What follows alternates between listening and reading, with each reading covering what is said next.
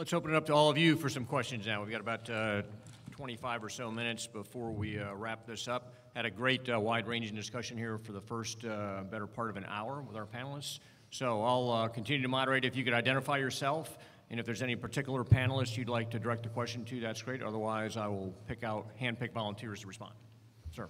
I'm Alan Young. I'm retired. I'm a former TAG. Uh, I've been fooling the same issue for over 20 years, back when Dave and I were in the War College together. Uh, and it's the same issues. You can change the figures and the names, but nothing ever gets really resolved. And I'll address this, uh, ask a question about the last point first. Telling the Army story. I mean, the Guard is out there in 3,000 communities, and we tell our part of the Army story. We go talk to Rotary clubs. You guys are over on the Hill. We go talk to the Rotary Club. Uh, we talked about what the Guard's doing. But the offer that's been on the table for decades has been we'd like to tell the entire Army story. That offer has laid, laid there untouched by every chief of staff of the Army I can remember. I mean, do you have any ideas as to how we can break that? I mean, what the result is, whatever political clout we have, we use on our behalf, and whatever the regular Army has, they use on their behalf, and the other services profit. And other than a commission or a total force task force, are we ever going to get through this? Because it's not a new problem, and it's not just about money. The only way I would say you could break it is, you know, when you get a new chief of staff, make the offer again. I, I, I agree with you. I think it's, it's insane to not leverage the capability of the Guard and the presence of the Guard out there to tell the whole Army's story. I think the Guard is, is willing to do that. You know, there might be individuals who are not, but the majority get it. You, the Guard understands it's part of the big Army.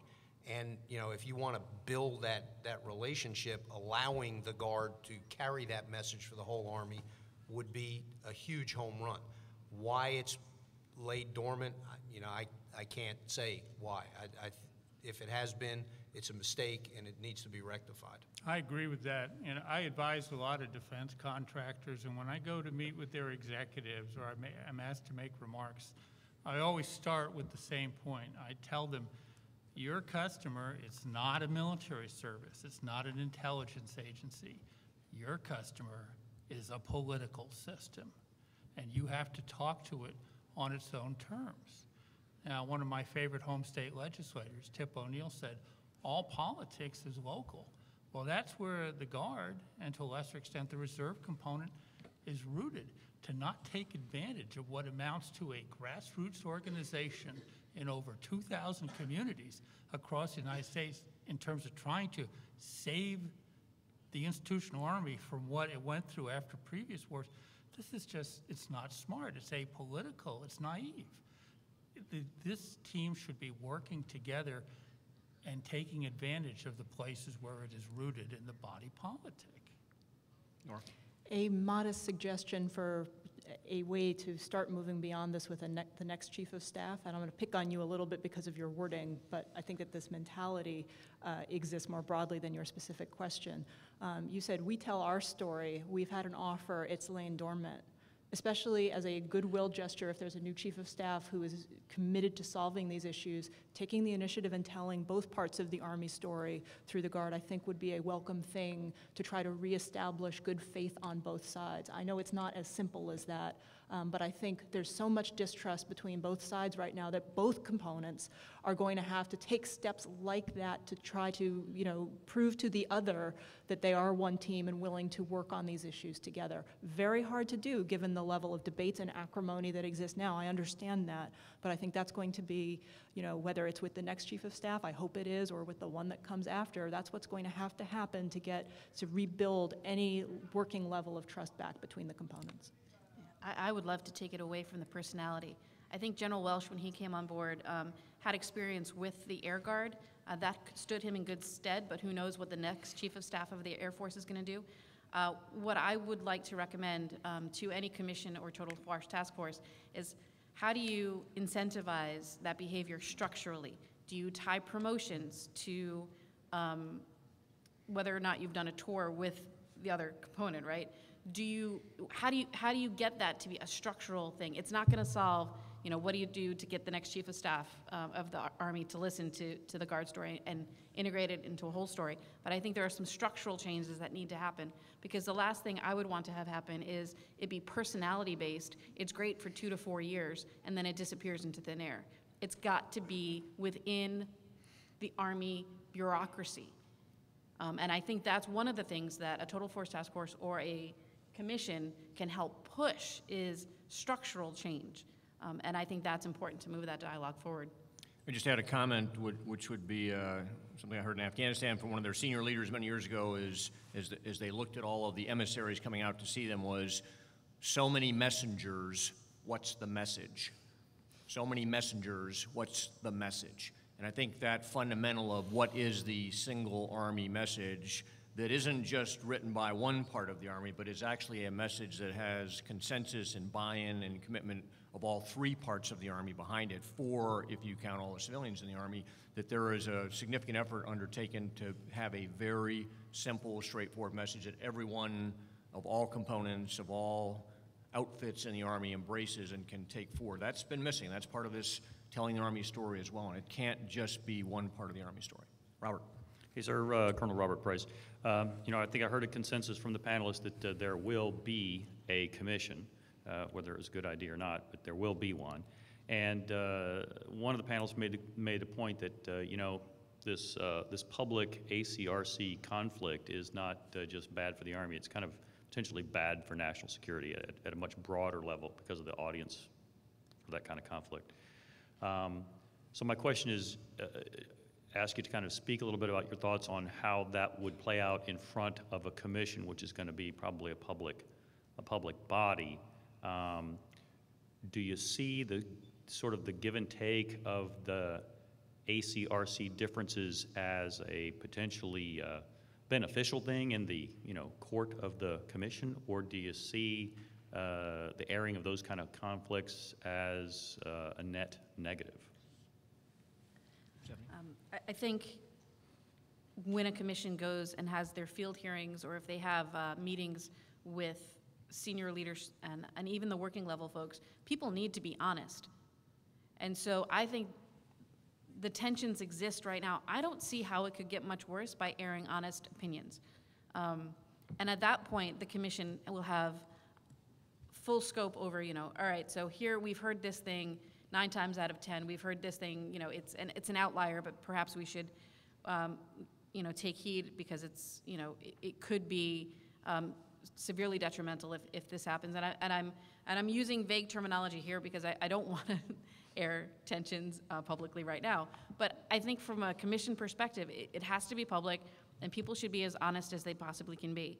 And then let the commission uh, take that information and do with it what it will. For what it's worth, I don't think that it could get more tense. Um, please don't test that. Um, but uh, but I, that's just my, my opinion. Steve? I'd, I'd like to make a plea in, in the opposite direction, is that I hope that the, the two warring factions don't sit with their arms crossed, waiting for the, the commission to be named, but that they continue working and come with as much consensus to that commission, because I do agree, I think inevitably we'll have one, but it would be sure a heck of a lot more beneficial to the nation and to the Army writ large if instead everybody came to them and said, okay, we've worked out this, this, this, and this. This is the only one we got left. You guys want to help us with that, we'd appreciate it. But if everybody just sits in their corners until the commission goes and then say, okay, you guys decide, uh, you know, we ain't got too many Solomons up there. Uh, it- We really, this, the Army needs to figure this out.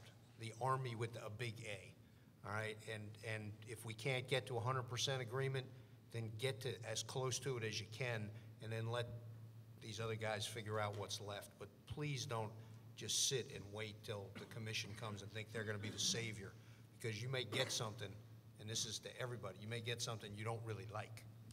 Boy, is that true. You know, I've participated in several Defense Science Board task forces and uh, two base closure and realignment commissions, uh, usually on the sidelines, but still as a participant in the process.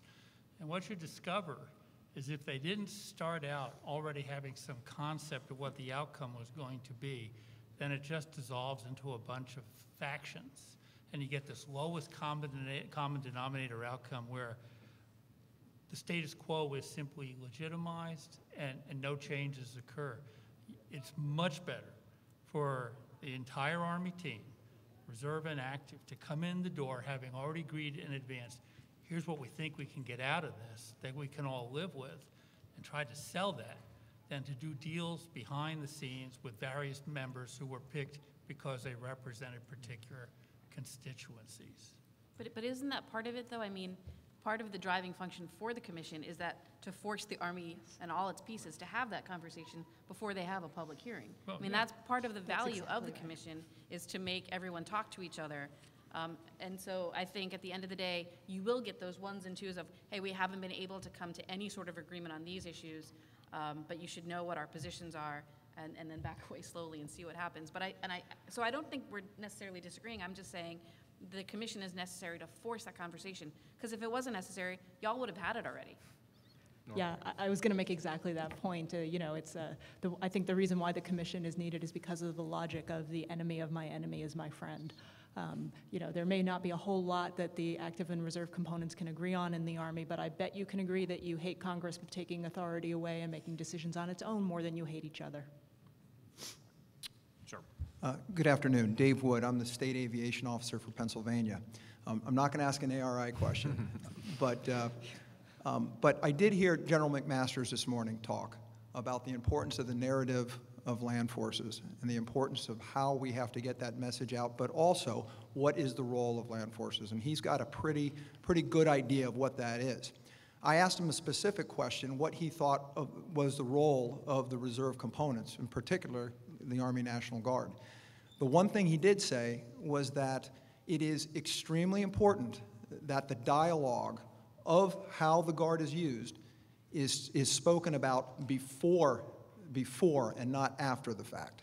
He talked about the fact that we've got to incorporate the Guard into our planning sequences and we've got to move forward, as the panelists said, as one Army.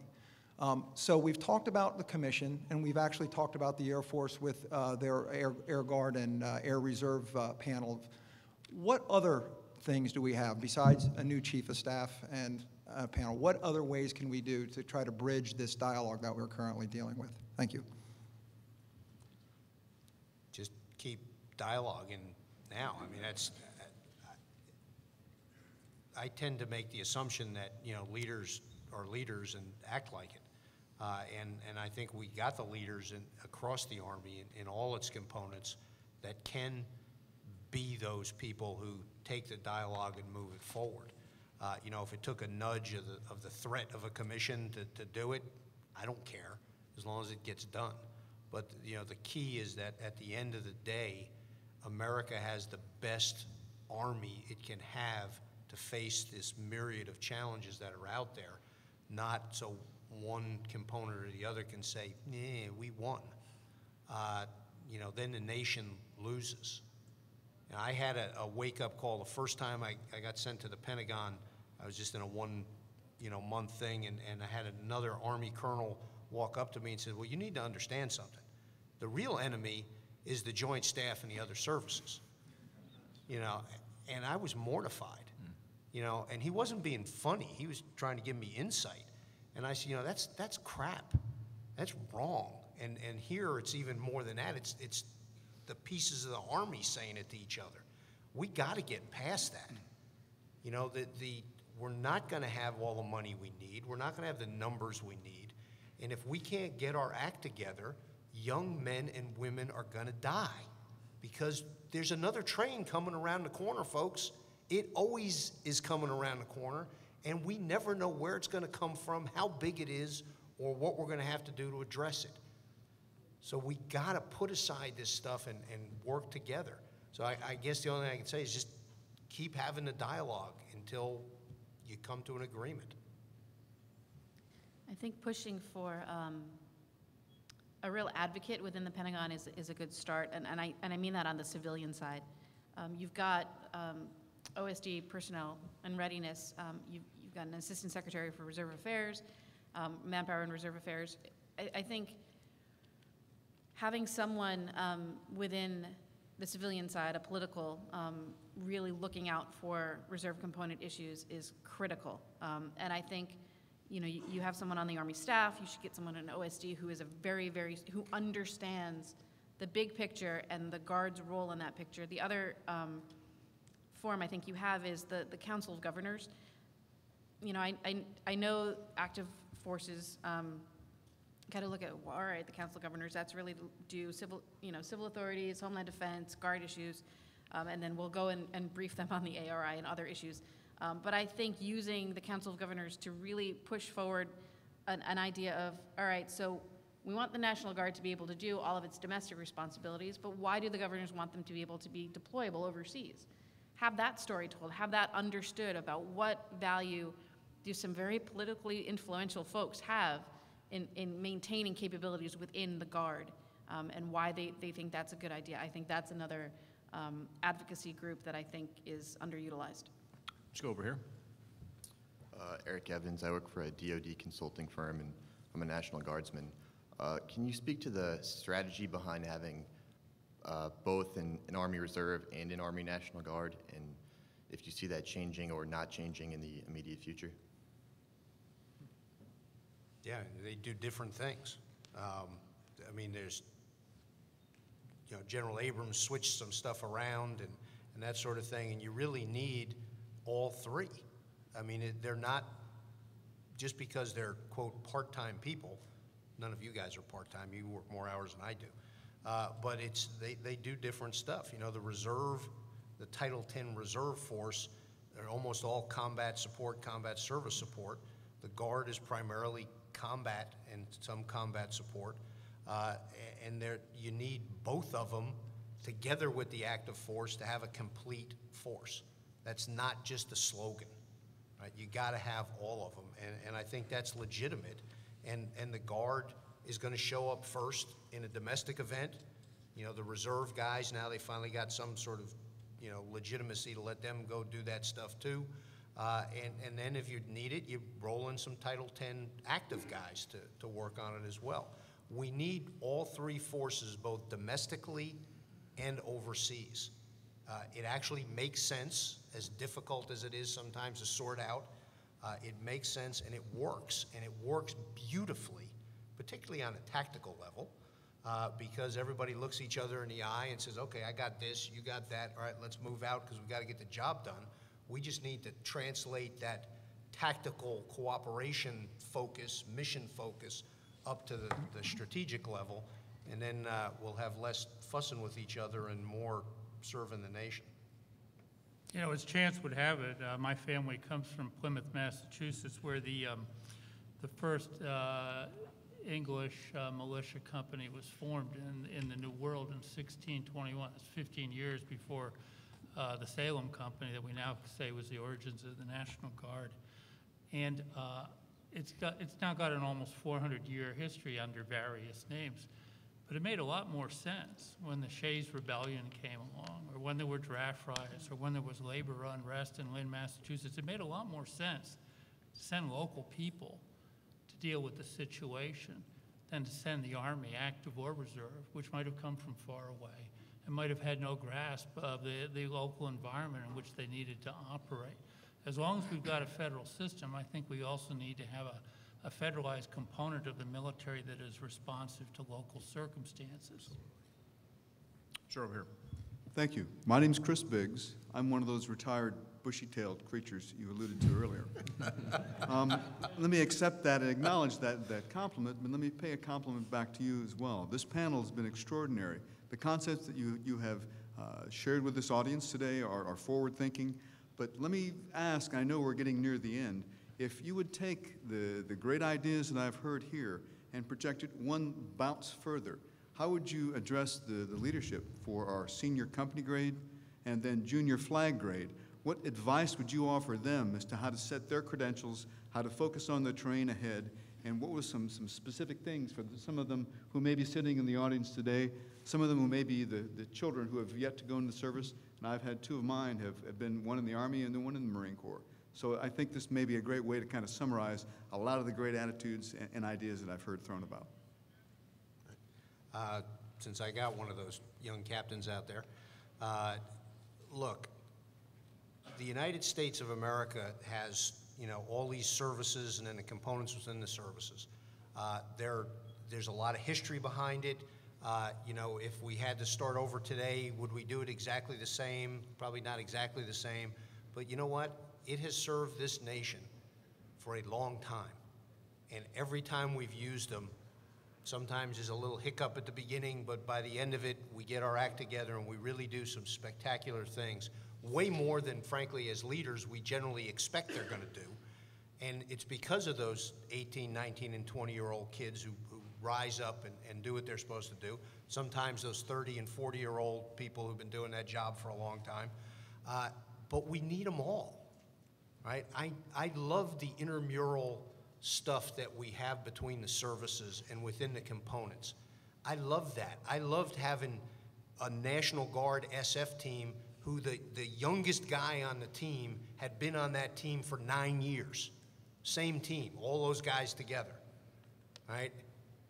They could do things that my active teams couldn't always do because they, they didn't even talk to each other. They, they knew what they were thinking because they'd been together so much. I've had other missions where, you know what, th- those guys weren't going to get up the mountain quite as fast as I needed them to get up there. So my, my active duty guys with the flat bellies and the gigantic legs, and they could get up there fast enough.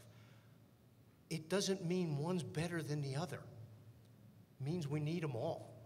And young people, you need to understand that. Have that healthy competition, but don't let it be detrimental or damaging. Leverage it. It really works well. I guess one thing I would add is, uh, and I think it's, it's the biggest uh, stumbling block right now, and, and it's going to have to change over time, and it's going to have to change by leadership, and that's to move from multiple cultures inside the United States Army to one culture inside the United States Army, where all the elements have mutual respect and confidence in one another. We saw a pretty impressive version of that in, in the last 13 years at war in Iraq and Afghanistan. I've talked in a number of fora about uh, how my staff in Afghanistan, when I stood it up, was probably majority uh, National Guard, Army Reserve, and minority active Army, and it was that way for probably two-thirds of my tour. I got very close to those folks. I knew what their capabilities were and walked away immensely impressed by all three of our components. Uh, but as soon as the budget knives come out and we walk away from you know, the bullets ricocheting off the rocks next to us, we go back into our respective corners of the boxing match, put our gloves on, and start going at each other. And, and the culture fractures immediately. And, and unless we can find a way, and this is going to take leadership in all three components, very powerful, probably most of all in the active component, because I'm, I'm from that particular tribe, and I think that's where the biggest problem is in a lot of ways. Uh, it's going to take a lot of leadership over the next several years to change that. And that's the environment, and that's the culture we owe the young folks coming up out in the force that are the captains, like my son is also two Army captains out there, uh, that uh, are going to be moving on through you know, some very challenging times over the coming years. Uh, let's go, then we'll go here and then we'll come back over here. Good. Uh, one of you said that you're confident that the National Guard can perform any mission that they're called upon to do. Another one of you pointed out that given the nation's fiscal situation, especially projecting forward with our current debt and projected debt, that it's almost inevitability we're going to be working with considerably less resources. At the same time, there's been multiple studies shown that a reserve component soldier costs, depending whose numbers you're using, a third or a half of an active component soldier. So if we're going to have to take significant reductions in the amount of resources we have, why wouldn't the active component bear the majority of those cuts to preserve a larger amount of combat power? I'll take that, because it's not all about cost, right? This is why I said in my model, you you know, I'd I'd prefer for us all to think about forces in terms of the degree of readiness they need and when they need to deploy. Um, If it were just about cost, that would probably be the right thing, um, but it isn't. You want people who are trained, ready to go out the door, people ready to come in behind them, and so on. Um, That, the number, the statistic that you cite is absolutely true uh, when Guard and Reservists are not activated. When they're activated to full-time status, they cost just as much. There's debate about whether they cost slightly more or not that's irrelevant for the purposes here. This really goes back to the question of what do you want land forces to be able to do? And I would also add to that, in what time frame, as to how you adjudicate what the right mix between AC and RC uh, personnel are. Isn't it interesting, though, that we've gotten this far into the discussion and the phrase cost effectiveness hasn't come up until now? Um, You know, whether you're in the reserve component or you're in the active uh, duty component, either way, um, when war starts, everybody doesn't head for the front at the first time. There's a rotation. And that suggests that it should be possible to reside a considerable amount of the, the nation's combat capability in the reserves at a much lower cost because they're at the lower state of readiness and still have them ready to go when they're needed. I mean, we're, uh, if I recall correctly, um, the reserve component com- uh, consumes about 16% of the defense budget, but it provides over a third of the total force, all right? So, I mean, what that says to me is if you're going to be in a a constrained budget environment and you know you're not going to need everybody during the first 90 days of the war at the front, then why not look at models where this is a total integrated force, but the reserve is maintained in a relatively robust state because it's the most cost-effective way to do it in a constrained environment. I'd like to comment on, on one part of your question, which was depending on whose costs you use. I think it's a shame that we don't have a common understanding of what costs what. Um, and I understand this goes back to everyone um, can, can manipulate numbers um, to their own end. And I think one of the recommendations um, Dave mentioned earlier, I put out a report earlier this year. Um, one of the recommendations was to take it out of the Army and have the Congressional Budget Office, which is outside the Pentagon um, and isn't subject necessarily to the same constraints that the um, GAO is, and say, all right, Congressional Budget Office, what costs to what in the Army? In the total Army, not just the active component. And I think it really is a shame when it comes down to, well, whose costs are we going to use? Let's use the costs and talk apples to apples, not apples to oranges, or um, as, as somebody else put in an earlier conversation, it's not really apples to oranges, it's like peaches to nectarines. You can recognize them, but one's a little, goes back to fuzziness, I guess. one's a little fuzzier than the other. Um, and so I, I just wanted to, to key off of that point is that I don't understand why we can't come to a common cost understanding, um, even if just for a brief moment in time, say, for example, one budget cycle, um, figure out what, what um, the, the cost of a, a soldier is. Hey, you know, that's a really important point. If you'll recall, the Aviation Restructuring Initiative began in part with an estimate by the Army that it actually cost more to maintain reserve aviation units. And it's kind of hard to understand where a number like that would come from. We know that the reserve component uses less retirement benefits, healthcare benefits, education benefits, uh, you name it, housing benefits per capita. So how would they come up with a number like operating the same airframes? This will be our last question, and then we'll wrap up our panel. Thank you. Jeff Landau, a retired Army. I spent my time in the Pentagon, did congressional affairs, and back then, we still weren't the best on the Hill. So the story hasn't changed, and I'd like to stand here in five years, and hopefully we can fix that. Um, I'm a budget guy, but I'm not going to talk money. What I want to hear from the panel is the unique capabilities and the story you think should be told with the big A as we go to the Hill on domestic operations, on state partnership programs, on the dual citizenship soldier, and that capability that the Guard brings to the fight. Well, you know, the, the big A piece of it, you know, not to sound political, but, you know, you do need boots on the ground at a certain point if you want to accomplish something. Um, Not denigrating our brothers and sisters who fly around in the air, but, you know, we love them, we love having them there, but it doesn't really change minds the way uh, you know, a ground force coming through does. Uh, The, all these different programs you mentioned, you know, are, are things that leverage. I was an attaché, you know, I, I understand what the state partnership program does and what it brings that nobody else brings. And it isn't just because some guys in uniform show up, it's guys and gals in uniforms who do other stuff back home who could suddenly bring things to the table that, that their active brothers and sisters can't. Uh, again, you know, I, I don't mean to sound like a broken record, but we need all those capabilities. They're real. They're not just nice, fuzzy things. All right? They're, they're legitimate programs that bring benefit to the nation and to our national security. We can't afford to lose any of them. Um, I can give you lots of other budgetary reasons, but the, you know, that's the bottom line. We need all those. They are legit. They do bring value, and it's value that's critical to the country. Uh, so we got to keep find, we got to find a way to keep doing these things. If we don't, the, the only ones who lose are going to be the nation. Might add something on the uh, civil-military dimension you touched on there, which I think we undervalue and don't actually pay much attention to, and this may be another vestige of the active Army not being in all those communities around America, is that the, the Army National Guard and the Army Reserve, uh, in many ways, are the connective tissue that keeps America's military tied to its citizenry.